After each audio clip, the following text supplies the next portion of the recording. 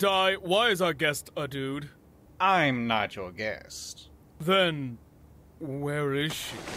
Hold your horses, you little bastard. I'll get your slut in a second.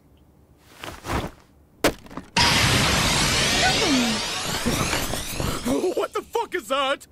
Your slut. You mean waifu? Is that what you whippersnappers call a dick sucking demon these days? Nah, dog, we still call them sluts. Then my point still stands. I ain't putting my dick in that! Nonsense, you see those hips? Those are 100% child-bearing hips, my squeamish friend.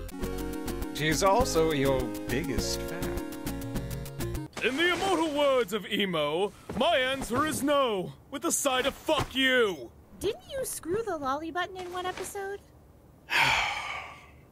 Look, when I was younger, I felt the same way about Pokemon.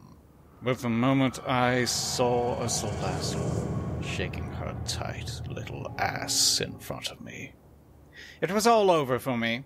But thing is, they're not just pets. They can be your mentor, your friend, and even your life partner. They will always be there for you, whether it's during the good times or bad. Just give her a shot. I ain't into doing Pokemon, bro.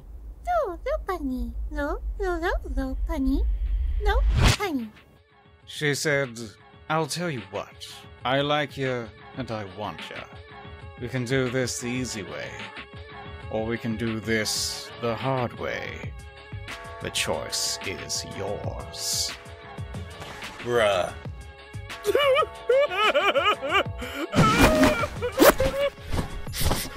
Wait, Uh, this isn't bad. Oh shit, this is pretty good. I love Pokemon! Woo! Another satisfied customer. Professor Harkness, away! Seriously, what the fuck is wrong with our show? Oh boy, I'm gonna need some bleach for that one. If you liked this episode of Kakyoin Waifu Connoisseur, then check out the previous episode in which we had Samus on the show. It took us weeks to clean up the set after that episode. Weeks.